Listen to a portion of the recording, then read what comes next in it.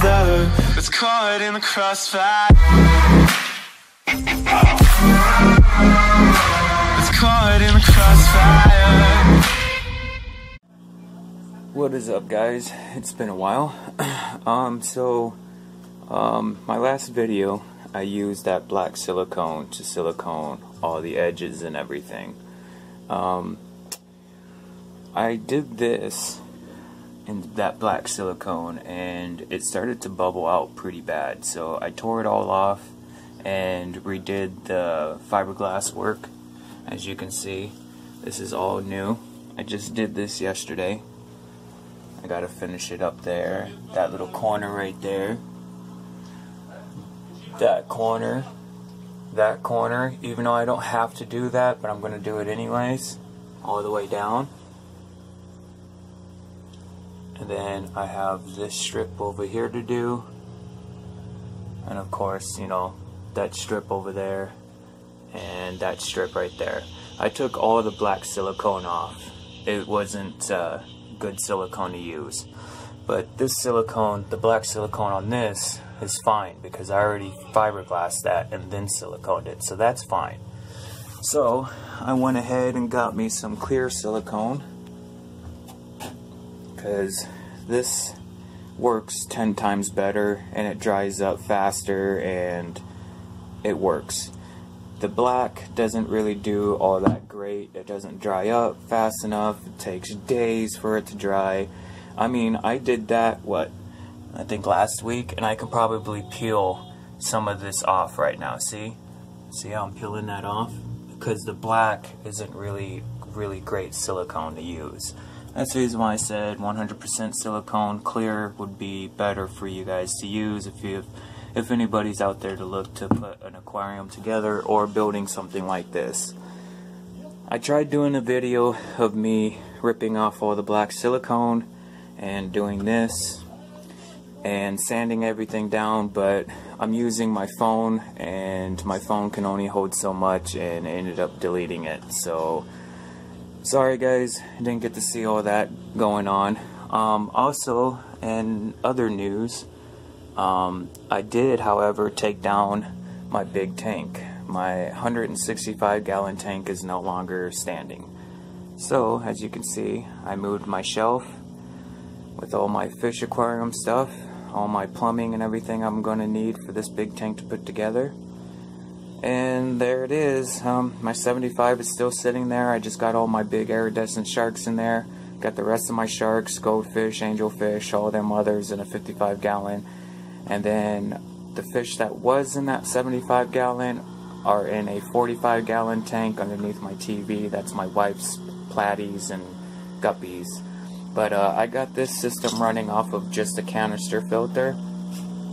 It pumps the water in and then it goes through the PVC piping, up, back around, into the 55, and then back into that blue hose, back around, back into the canister filter. Very easy to set up. I mean, very easy to set up. So, so they're gonna sit there for a while until I can get this done. But uh, this is the big tank right here, as you can see six feet tall, two feet wide. I took this down a couple of days ago. I just got to clean up the glass, get it all set up and ready so I can go ahead and put it in here. Now, one of these panels do have to get cut down to about four and a half feet, maybe five feet, um, because I only built this tank to only be five feet. So, this is the trimming for the lids. This is the actual height of the tank right here. All the way down. Actually, technically, this would be the height of the tank. I'm sorry. This would be the height of the tank all the way down. So this is only 5 feet. But up to here, it's like 5 and something. I don't know. But it's 110 inches long. And it's 3.5 feet wide. So it's a big tank. And it's about a little bit over I would say 800 gallons of water right there, just for that tank. And then, of course, the sub tank will be close to about 300 gallons. So I'm looking closely, close to a thousand gallons of water right here. So But anyways, guys, um, let's just go ahead and get on to it. Um, today I'm going to finish up all my fiberglass for for good. So let's go ahead and start on all that, shall we?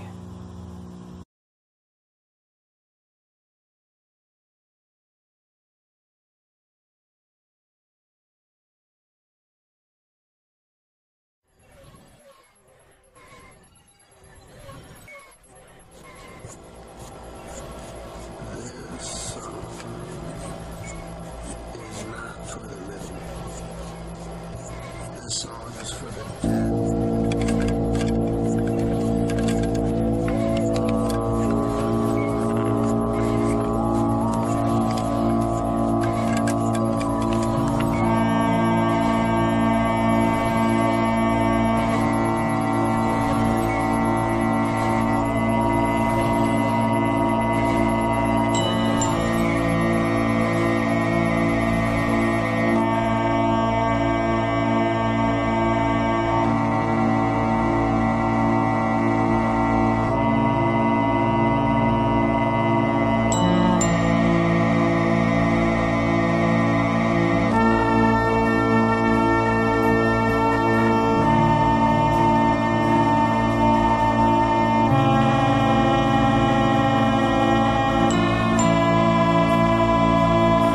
that you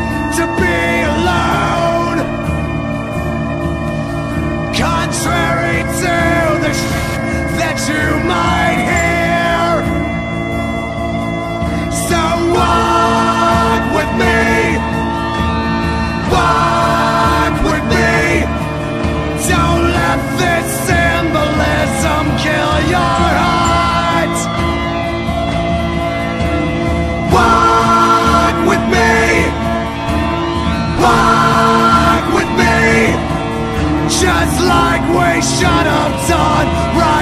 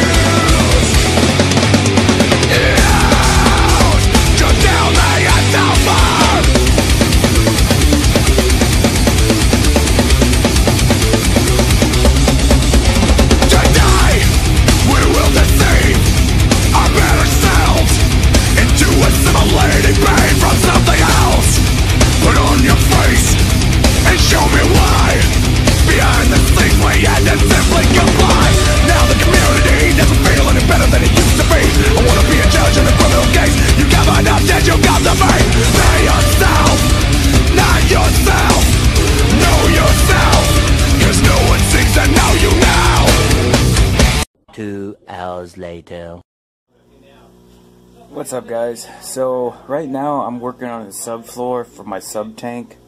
Um, as you can see, I already cut out the notches and everything so the board can slide in. Now I'm going to be screwing it down. And I got another one right here. Sorry about the mess. If you guys see a mess, it's been very, very hectic down here. Um, as you can see, all that's done. That one's done. All of this is done. All of that's done. All of that is done. Um, the only two areas I got left, this is done too. Um, I just got this one to do. And this one. And I will be done with my fiberglass. And then I can go back in with my clear silicone. Silicone, you know, the edges just inside the tank. Extra extra protection, you know. And then uh, go back in with my pond shield, start painting it, and then go back in again and sand down the lip area on where the glass is going to sit so that way the silicone has something to you know be rough up against so same as up there so right now I'm taking a break from the fumes. It's, it's uh, getting to me so I'm gonna take a moment on that. And uh, I went ahead and cut the floor out for my sub tank. Um, I didn't do a video on that. So let's go ahead and screw down a couple of screws for now and then go ahead and get that one in there. So let's go ahead and get this done guys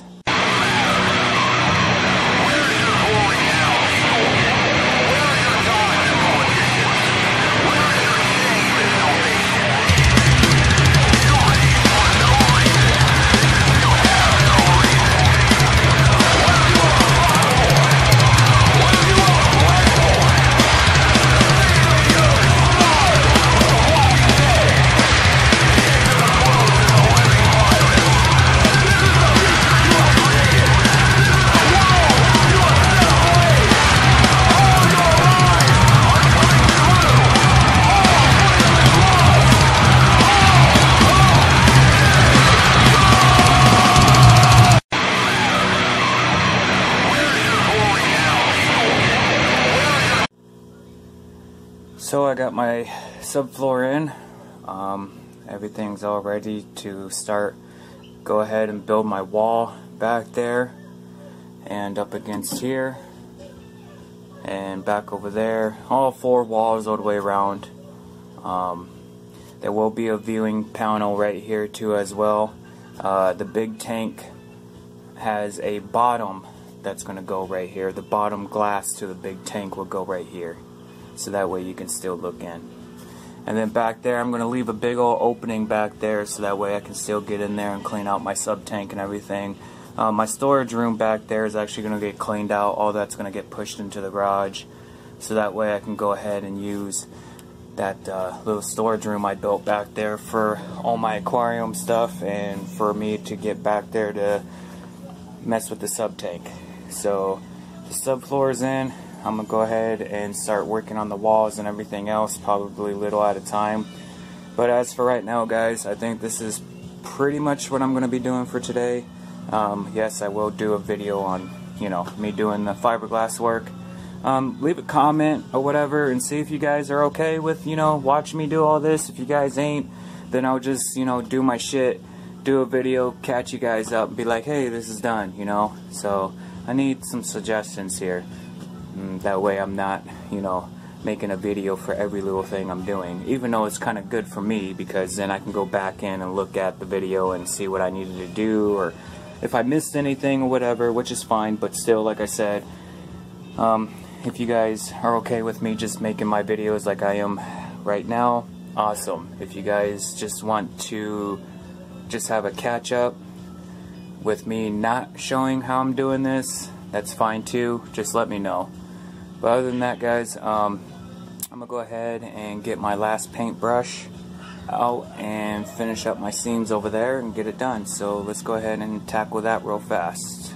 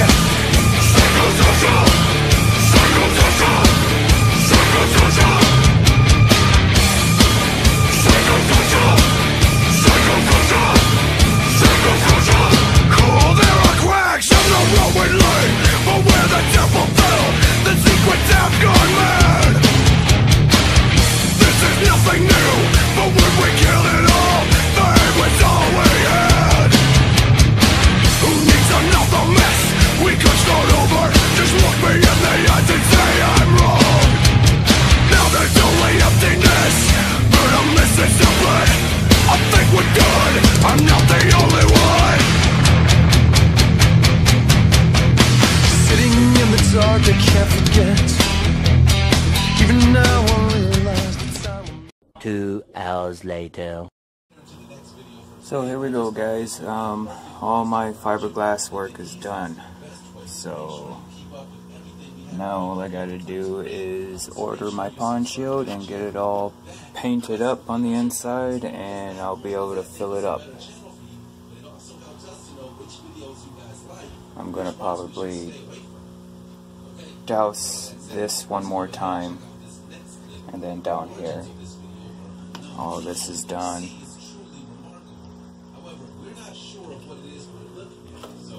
Like I said, all I gotta do now is just paint the inside, make sure all of it's all sealed up and all ready to go. And then put my windows in. That corner's done.